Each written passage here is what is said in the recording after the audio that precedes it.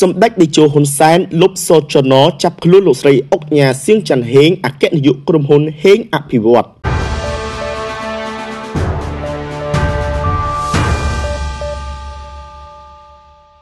បន្ទាប់ពីប្រព័ន្ធផ្សព្វផ្សាយបានផ្សព្វផ្សាយយ៉ាងប្រុងប្រៀបពីសុចនចាប់ខ្លួនលោកស្រីអុកញ៉ាសៀងច័ន្ទហេងអគ្គនាយកក្រុមហ៊ុនហេងអភិវឌ្ឍដែលចេញកាលពីថ្ងៃទី5ខែមករាឆ្នាំ2023កន្លងទៅ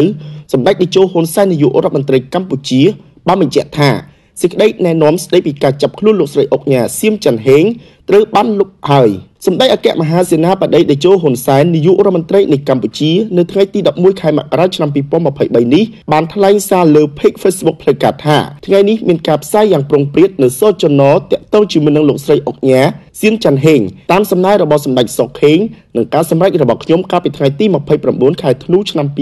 2022សម្ដេចបានបន្តថានៅថ្ងៃទី9មករាឆ្នាំ2023តាមសំណើរបស់លោកស្រីសៀនច័ន្ទហេងខ្ញុំបានប្រកល់ជូន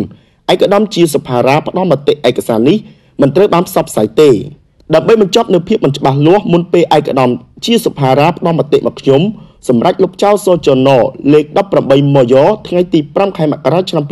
2023ចាប់ពីម៉ោងនេះតទៅ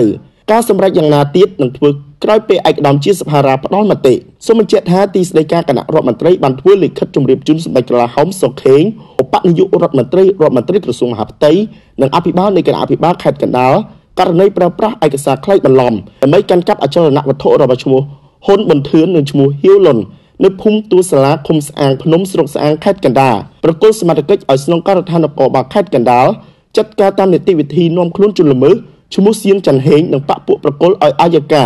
អមសាលាដំបងខេត្តកណ្ដាលដើម្បីចោទប្រកាន់និងផ្ដន្ទាទោសតាមច្បាប់ ដោយមិនលើកលែងនេះបើយោងតាមលិខិតចុះថ្ងៃទី5ខែមករាឆ្នាំ2023ដែលចុះហត្ថលេខាដល់ឯកឧត្តមតៅសត្យារដ្ឋលេខាធិការទីស្តីការគណៈរដ្ឋមន្ត្រីខ្ញុំបាទវងសិញ្ចវិជាកម្ពុជាសន្តិភាពនាំមកជូនលោកអ្នកដោយក្រុមហ៊ុន OS Rival Marketing Cambodia សម្ភារសុខភាពឧត្តមភាព Cream Vermix3 មិនចាក់មិនលេបមិនវះកាត់គ្រាន់តែលាបប៉ុណ្ណោះ Cara Perfume Body Serum ស្បែកសស្អាត ក្លិនក្រអូប និងជឿជាក់